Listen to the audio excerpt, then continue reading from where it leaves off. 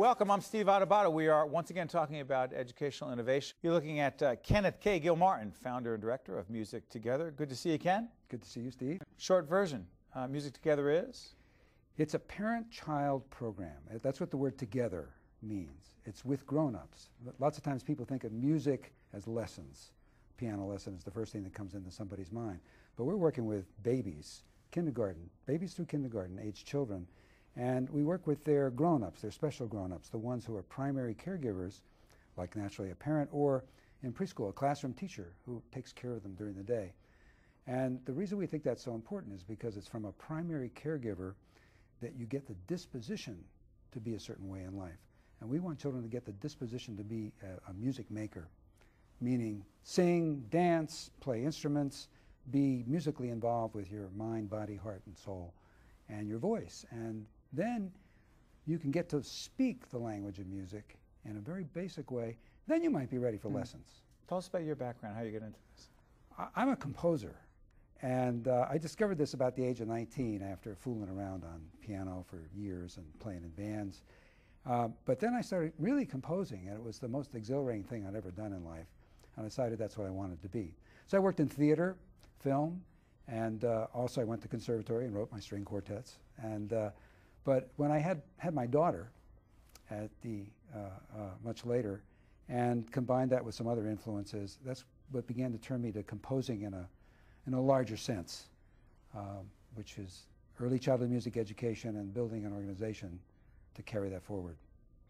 Talk to us in very concrete ways about how music, together, children, parents, how it develops children in that age, early mm. childhood age, to be everything they can be? Oh, it's so exciting uh, to do this work because of, well, really the answer to the question you just asked, which is that music is so primal to us. Is it for everyone? Yeah, absolutely, because, but not in the way you might be thinking. It's not that everyone should be performing music, because a lot of us are not performers.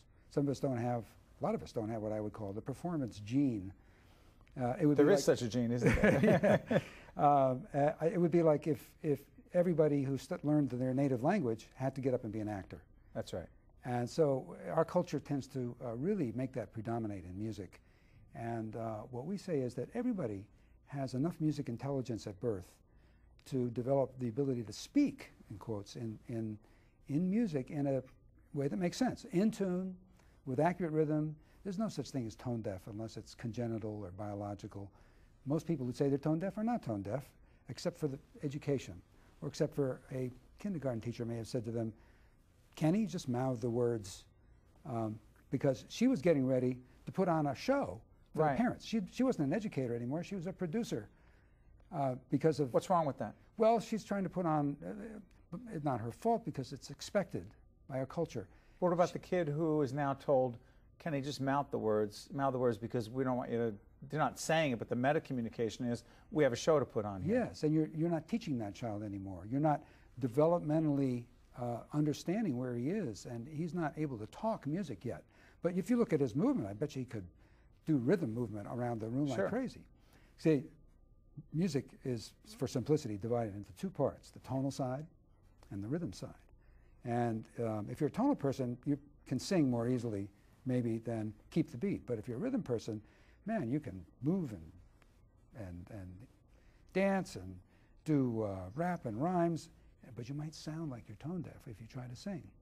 But if somebody understands that and supports your rhythm development and, and then supports your tonal development in addition to that, wow, suddenly, well, maybe it takes a couple years, but then a, a singer can emerge. I'm, I'm one of those children. Well, you know what's interesting as you're saying this? Uh, a constant theme has obviously been parental involvement here. Yeah. You know, and, and, I, and I don't like, I, it's not about our kids, but our five-year-old Chris loves to dance. Yeah.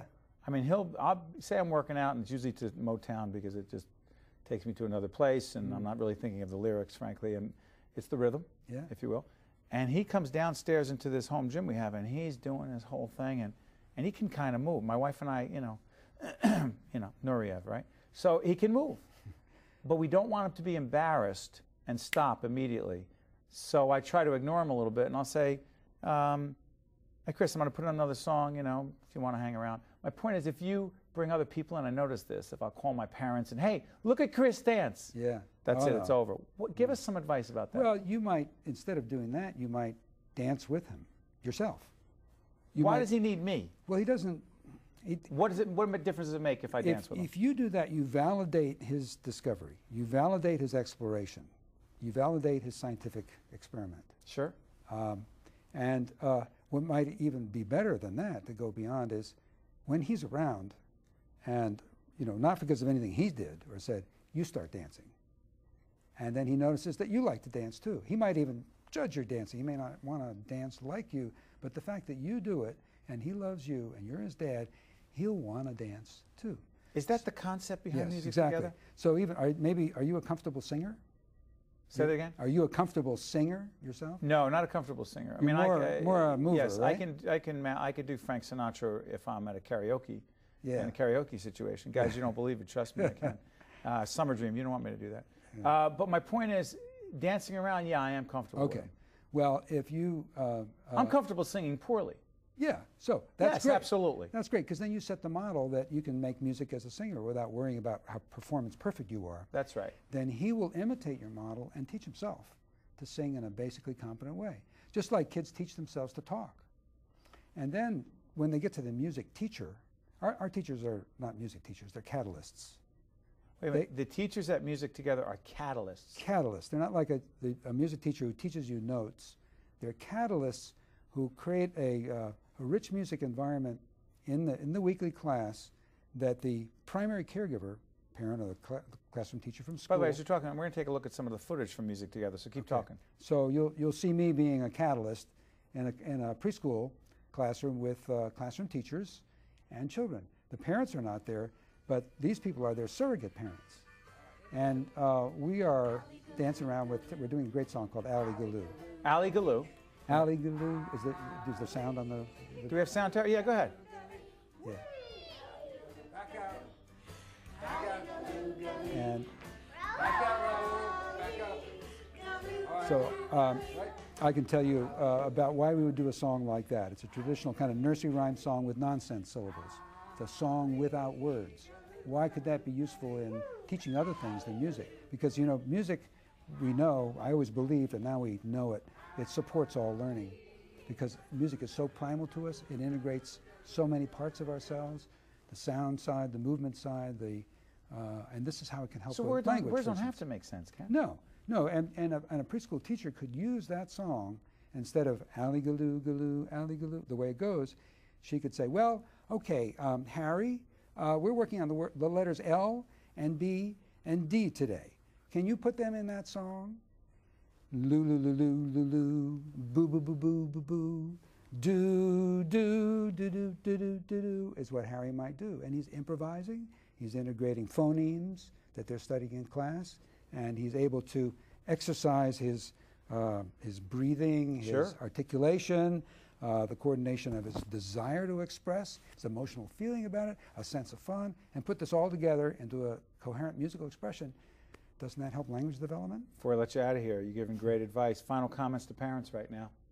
Oh, uh, do music with your kids. I mean, if you come to our program, great, but uh, go, go somewhere and do music regardless of whether you think you can do it or not, regardless whether you sing well, dance well. Don't just turn on a CD. Just don't, don't just turn on That's the TV. That's too easy. Well, it's, it's, it's, it's not what's needed. It's not, it's, uh, that's passive consumption. We're all doing that in this culture now. We're a new, relatively new industry, early childhood music. The only reason we have to do it is because uh, grandma doesn't do it anymore. Parents don't do it anymore. We had na- so we have this wonderful work to do because of that. Well, you're doing wonderful work, and I have a feeling in the work that we did together for these few minutes, you made a difference. Ken, I appreciate it. We all do. Thanks a lot, Steve. Thank you. Don't miss Steve Adubato and co-host Raphael P. Ramon each week on Inside Trenton, Saturdays at 8:30 a.m. on 13 and Sundays at 7:30 a.m. on NJN Public Television.